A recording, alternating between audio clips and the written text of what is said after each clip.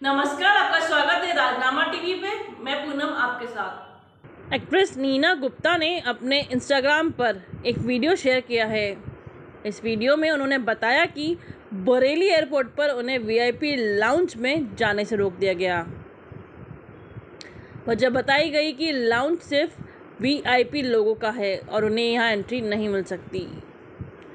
Post की गई video में नीना ने बताया, मैं बरेली एयरपोर्ट से बोल रही हूँ।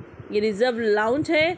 जहाँ जाकर मैं एक बार बैठी थी, पर आज मुझे वहाँ जाने नहीं दिया गया। ये रिज़र्व लाउंज वीआईपी के लिए होता है। मुझे लगा कि मैं भी वीआईपी हूँ, पर अभी तक मैं वीआईपी नहीं बनी हूँ। वीआईपी बनने के लिए बहुत मेहनत करनी पड़ेगी। तो अच्छा है कि इस बहाने में वीआईपी बनने के लिए मेहनत करूँगी।